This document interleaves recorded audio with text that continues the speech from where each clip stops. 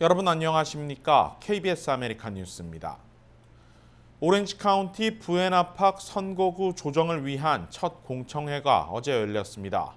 기존 선거구 5개를 4개로 줄이고 시장을 선거를 통해 선출하는 새로운 제도가 논의되고 있는 가운데 참석한 여러 한인들이 직접 발언 기회를 얻어 소수의 정치력을 약화시킬 수 있는 시도라며 강하게 반대했습니다. 공청회 현장 김경일 기자가 취재했습니다. 어젯밤 열린 부에나팍 선거구 재조정 첫 번째 공청회. 한인들은 단호했습니다.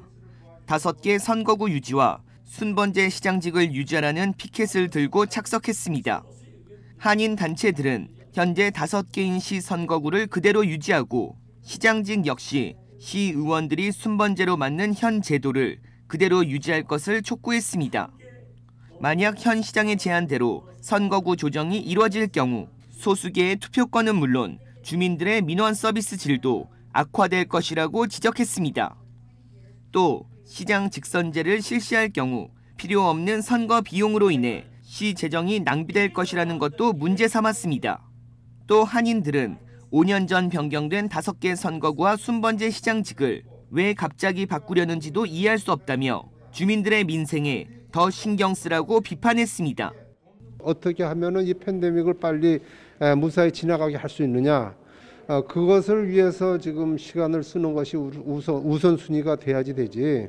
이것을 다시 이렇게 바꾼다는 것은 지금 이 시점으로 봤을 때는 절대적으로 아니라고 생각을 하고 한인들은 시 공청회에서 소수의 의견을 받아들이지 않는다면 모든 단체와 협력해 이유를 알 수 없는 변화를 가만히 지켜보지 않겠다며 목소리를 높였습니다. 이에 부에나팍 시장은 주민들의 의견을 최대한 수렴하겠다고 밝혔습니다. 시청에서 다들 말씀하시고 다 이제 또 어, 시장님도 그리고 저 다른 시의원들도 어, 듣고 나서 좀 생각이 좀 바뀐 것 같아요. 다행히도요. 그리고 한국 분들이 많이 나오셔서 이렇게 support를 해주시니까 다행이죠. 한인들은 소수의 의견을 듣는 것이야말로 참다운 민주주의라며 선거구를 줄이는 것보다 오히려 더 늘려 여러 소수의 의견을 듣는 것이 시정 업무에 도움이 될 것이라고 역지안했습니다. 한인들은 소수의 의견이 부에나팍시에 반영되도록 다양한 계획을 준비하고 있습니다. 가을경부터는 주민들 중심으로 어, 서명 운동들을 해서 이번에 선거구가 다시 만들어질 때 그 아시안 커뮤니티의 어떤 정치력을 강화하는 그런 지도가 만들어질 수 있도록 어, 다방면에서 아마 부에나팍 선거구 재조정은 내년 초 두 차례 더 주민 공청회를 거치게 됩니다. 부에나팍 선거구 재조정은 내년 3월까지 공청회를 거친 후 4월 최종 결정됩니다. 한인 권익공호 단체들은 소수의 의견이 보장받을 수 있도록 한인들의 관심과 참여를 당부했습니다. 부에나팍에서 KBS 뉴스 김경일입니다. 이달 말부터 캘리포니아 주 정부가 경기부양 지원금 지급을 시작합니다. 예상보다 지급이 빨라졌는데 주민 3분의 2 상당이 혜택을 받을 것으로 보입니다. 이우수 기자가 보도합니다. 캘리포니아 주정부 경기부양 지원금이 이달 말부터 지급됩니다. 주정부는 오는 30일부터 경기부양 지원금이 지급될 것이라고 밝혔습니다. 지원금 지급 자격은 지난해 세금 보고를 마친 자로 제한됩니다. 지난해 반 이상을 캘리포니아에 거주했어야 하고 소득은 7만 5천 달러 이하여야 합니다. 지급은 가구당 기준이 적용됩니다. 개인이나 부부 합산 가정 모두 600달러의 지원금을 동일하게 받습니다. 부양 자녀가 있는 가정은 가구당 500달러를 더 받습니다. 하지만 연방정부 방식과는 달리 자녀 인구수에 따라 지급되는 것은 아닙니다. 1차 때 받지 못했지만 2020년 tax return을 연 7만 5천 달러 이하로 보고하신 분들은 부양가족이 있을 경우 500불을 합해서 600불 아, 플러스 500불에서 1100달러를 받을 수 있게 됩니다. 캘리포니아 주정부가 제공하는 1차 지원금을 이미 받은 경우 2차 지원금은 받을 수 없습니다. 하지만 1차 지원금 수령 당시 부양자녀를 등록한 경우 이번 2차 지원에서는 부양자녀의 몫인 500달러를 더 받게 됩니다. 1차 때 스티뮬책을 받았지만 부양가족이 에 대해서 받지 못한 사람들은 추가로 500달러 더 받을 수 있다는 거예요. 지급 방식은 연방정부와 동일합니다. 세금 보고 환급을 은행 계좌로 받은 경우 동일한 계좌로 자동 입금되며 수표로 수령하고 있는 경우 우편을 통해 수표를 받게 됩니다.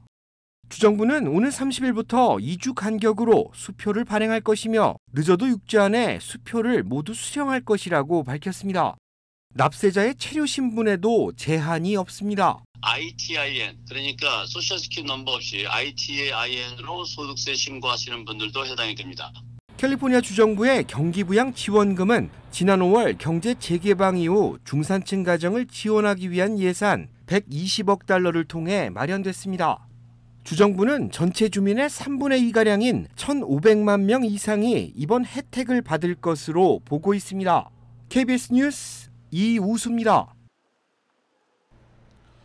LA 한인상공회의소 제45대 회장단 이취임식이 어제 열렸습니다.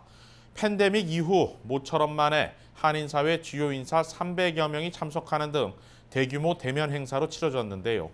상공회의소는 이번 행사를 계기로 본격적인 한인사회 경제 재건을 위한 다양한 활동을 계획하고 있습니다. 이 취임식 현장 박시몬 기자가 다녀왔습니다. 45대 LA 한인 상공회에서 이 취임식이 어제 저녁 열렸습니다. 주류사회 정치인들과 한인 상공인 300여 명이 모인 가운데 치러진 이번 행사는 그동안 움츠렸던 한인 사회의 활력소가 되는 분위기로 진행됐습니다. 특히 팬데믹 이후 한인 사회에서 열린 가장 큰 행사로 그 의미가 새롭습니다. 팬데믹으로 인해서 마음껏 우리들이 많은 계획을 가지고 있었지만은 펼쳐보지 못했는데 다행히 45대 들어오면서 어, 백신이 개발이 되면서 이렇게 우리들이 이벤트도 할 수 있고 또한 installation banquet도 할 수 있고 그래서 너무나 저로서는 지금 꿈에 부풀어 있습니다. 45대 임기는 지난달 처음 시작됐지만 코로나 팬데믹으로 이 취임식 행사가 늦어졌습니다. 45대에 접어든 LA 한인상공회의소는 그동안 팬데믹으로 인해 어려움에 처했던 한인 비즈니스들을 다시 살리는 데 주력할 것이라고 전했습니다. 이와 함께 소상인들을 위한 프로젝트를 계획해 한인 상공인들을 위해 일하겠다는 포부를 밝혔습니다. 여러 가지 서비스나 그러니까 또한 그 사람들이 받을 만한 그런 소스가 없기 때문에 안타까울 적에 저희들이 그것이 과연 어디가 부족한지를 찾아내서 소상공인들을 돕도록 우리 어, 상공회에 있는 모든 이사님들을 통해서 돕도록 저희들이 이번에 한번 프로젝트를 만들고 있습니다. 이번 행사에는 마이크 퓨어 시 검사장을 비롯해 LAPD 도미닉 최 부국장 등 주류 정치인들도 참석해 자리를 빛냈습니다. 한편 LA 한인상공회의소는 현재 상공인들에게 적용되는 한국 입국 시 자가격리 면제 정책을 미주 한인 모두에게 적용될 수 있도록 한국 정부에 청원하는 방안을 모색 중이라고 전했습니다. KBS 뉴스 박시몬입니다. 캐시 호컬 뉴욕 주지사가 취임 이후 첫 지침을 발표했습니다. 보다 철저한 방역과 주정부 공무원들의 윤리 교육 강화, 코로나 사태 속 투명한 운영 보고를 약속했습니다. 제휴사 뉴욕 KBTV가 보도합니다. 어제 뉴욕의 첫 여성 주지사로서 취임 선서를 마친 캐시 호컬 주지사는 첫 번째 발표에서 코로나19 관련 문제 등에 대한 지침을 내렸습니다. 그녀는 주내 모든 교직원에 대해 백신 접종을 증명하거나 매주 검사를 받도록 할 것이라고 말했습니다. 또한 주 보건당국에 교내 전원 마스크 착용 지침을 내릴 것을 지시하겠다고 밝혔습니다. 그녀는 자신에게 교내 백신 접종을 전면 의무화할 권한은 없지만 지역 교구와 협력해 추진에 힘쓰겠다고 말했습니다. 그녀는 특히 유색인종과 빈곤계층 아이들이 많은 대면 수업 기회를 놓치고 있다며 학생들의 정상적인 학교 복귀가 시급하다고 말했습니다. 호컬 주지사는 또한 지급이 지연되고 있는 270억 달러의 렌트 지원금을 서둘러 전달하겠다고 밝혔습니다. 그녀는 인력을 늘려 지급 절차를 가속화하겠다며 자격이 되는 지원자들은 앞으로 1년 동안은 퇴거로부터 보호받을 것이라고 말했습니다. 또한 그녀는 사임한 쿠오모 주지사 정부에서 드러난 직장 내 윤리 문제에 대해 성희롱 예방 교육을 실시하는 등 직원 윤리 교육을 전면 개혁하겠다고 밝혔습니다. 한편 호컬 부지사는 쿠오모 주지사 정부에서 약 12,000명의 코로나19 사망자를 축소 보고했다고 밝혔습니다. 어제 발표에 따르면 뉴욕주의 사망자는 5만 5,395명이었는데 43,415명이라고 보고했던 쿠오모 정부에서는 병원, 요양원 등만 집계해 집에서 사망한 사람 등이 포함되지 않았습니다. 이 밖에도 쿠오모 주지사는 요양원의 사망자를 50% 가까이 축소 보고한 혐의를 입고 있습니다. 호컬 부지사는 CDC의 통계와 일치하는 투명하고 완전한 정보를 제공하겠다고 밝혔습니다. KBTV 뉴스 김현지입니다. 존슨앤존슨은 자회사 얀센이 개발한 코로나19 백신으로 추가 접종할 경우 항체 수준이 크게 높아지는 것으로 나타났다고 밝혔습니다. 존슨앤존슨은 초기 임상 시험에서 얀센 백신을 접종한 지 6개월이 지난 참가자들에게 두 번째 백신을 투여한 결과 항체 수준이 최초 접종 4주 뒤와 비교해 9배가 높았다고 설명했습니다. 1회 투여만으로 접종이 완료되는 얀센 백신은 두 번째 접종이 부스터샷이 됩니다. 존슨앤 잔슨 측은 특히 지난해 백신 임상시험 참가자들 가운데 17명을 추적 관찰한 결과 6개월 뒤에도 항체 수준에 거의 변화가 없었다고 덧붙였습니다. 존슨앤 잔슨은 식품의약국 FDA에 이번 임상시험 데이터를 제출할 예정입니다. 아직 얀센 백신은 바이든 행정부가 발표한 추가 접종, 이른바 부스터샷 대상에는 포함되지 않은 상태인데 이번 결과에 따라 추가 접종 백신으로 지정될 수 있을지 관심이 모아지고 있습니다. 미국 시민권자 등 한국을 방문하는 외국 국적자들은 다음 달부터 사전에 전자여행 허가를 받아야 합니다. 그동안 시범 실시되던 제도가 공식 의무화되는 것으로 앞으로 한국 방문 절차가 좀 더 까다로워졌습니다.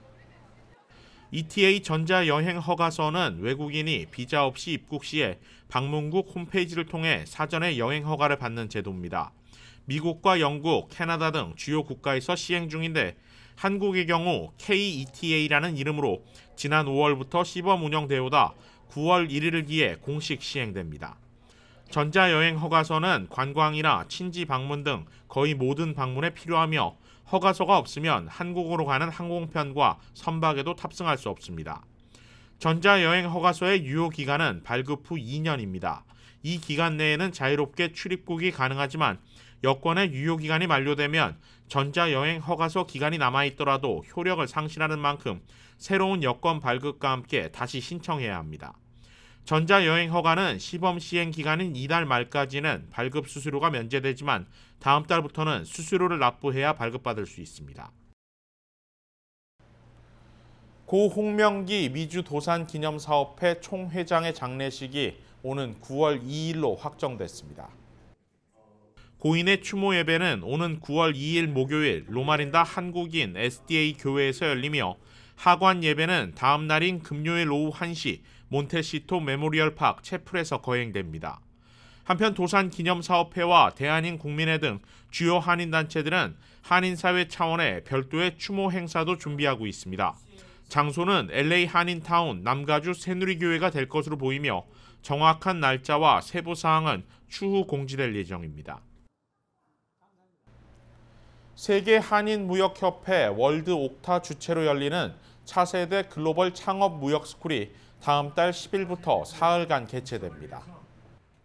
올해 창업무역스쿨은 차세대 창업과 무역 교육을 기반으로 코로나19로 달라진 트렌드를 반영해 온라인을 통한 창업과 마케팅 교육 등이 추가됐습니다. 무역스쿨은 한인 인재를 지원해 무역과 경제 분야의 차세대들을 육성하기 위한 프로젝트입니다. 옥타 LA는 많은 사람들이 백신 접종을 마친 만큼 올해는 대면 강의와 수강생들이 서로 교류할 수 있는 다양한 프로그램으로 구성했다고 밝혔습니다. 전 세계 68개국의 옥타 네트워크를 통해 수강생들의 창업도 지원하게 됩니다. 140여 지회가 있는데 그 지회에서 비즈니스 하시는 모든 회원들의 어, 비즈니스와 노하우와 아이템 이런 것들을 전부 다 공유할 수 있습니다. 대상은 만 21살부터 39살 사이 누구나 참가할 수 있으며 CDC 지침에 따라 PCR 검사 음성 판정을 받아야 참여가 가능합니다. 옥타 LA는 올해 무역 스쿨 수료생과 LA 지회 준회원에게 5만 달러의 초기 창업을 지원하는 스타트업 지원 사업도 펼칠 계획으로 창업을 계획 중인 차세대 한인들의 많은 참여를 당부했습니다. LA 한국교육원이 올해 하반기 성인 교양 문화 강좌 수강생을 모집합니다. 교양 강좌는 대면 수업으로 진행되며 컴퓨터와 스마트폰, 영어 교육으로 구성됐습니다. 9월 1일부터 시작해 매주 화수, 목, 주 3회로 운영됩니다. 온라인 줌을 통해 진행되는 문화 강좌는 민화와 공예, 종이 접기로 3명의 강사가 한국 전통 문화와 관련한 다양한 그리기와 만들기 교육을 진행합니다. 수강료는 강좌당 40달러입니다. 자세한 내용은 교육원 홈페이지에서 확인할 수 있습니다. KBS 아메리칸 뉴스는 시청자들의 의견을 소중히 생각합니다. KBS 아메리칸 뉴스 마칩니다. 고맙습니다.